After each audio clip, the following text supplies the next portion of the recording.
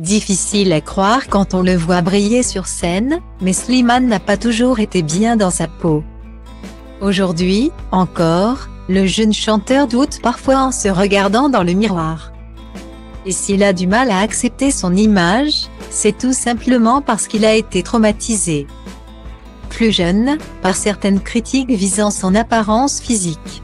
C'est ce qu'il a raconté alors qu'il était de passage dans l'émission En aparté. Diffusée sur Canal Plus le mardi 18 octobre 2022. À l'époque de The Voice, je n'étais pas fini dans ma tête, a-t-il avoué à Nathalie Lévy.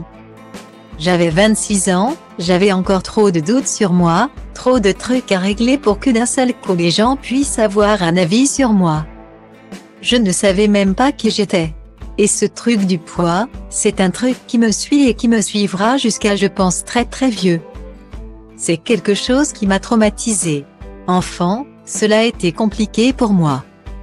Adolescent, Slimane a effectivement souffert de gynécomastie, c'est-à-dire d'un développement trop accentué des glandes mammaires. C'est notamment à cause de ça qu'il a vécu l'une des scènes les plus humiliantes de sa jeunesse.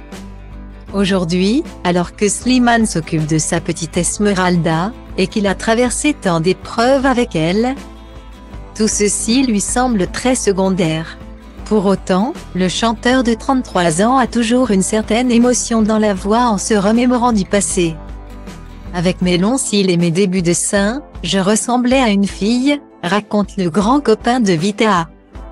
J'ai un souvenir à la piscine, où un jour, un grand de 20 ou 22 ans m'a dit, mais ce n'est pas le vestiaire des filles ici.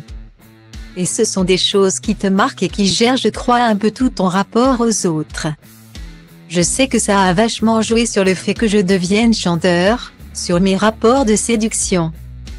Sur l'amour, sur le couple. Ça a beaucoup joué. Guillaumet.